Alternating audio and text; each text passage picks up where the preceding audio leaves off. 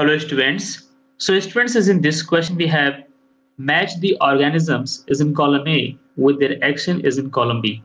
So here we have two column, column A and column B is in the first column we have bacteria, rhizobium, lactobacillus, yeast, a protozoan, a virus, right?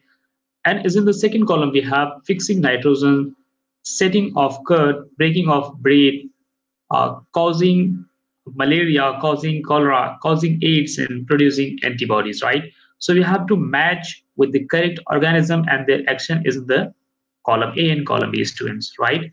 So students इस question में हमें column A in column B को match करना है column A में organism है column B में उसके एक्शंस है जिसे हमने मैच करना है so let me explain you this question students is in proper manner okay so first of all we'll make a column here column a and column b is in the column A, we have the first one that's the bacteria and its action is causing cholera. Okay. Next one we have that's rhizobium and its action is fixing nitrogen. Right, students? Is in the third one we have lactobacillus and its action is setting off curd. Right?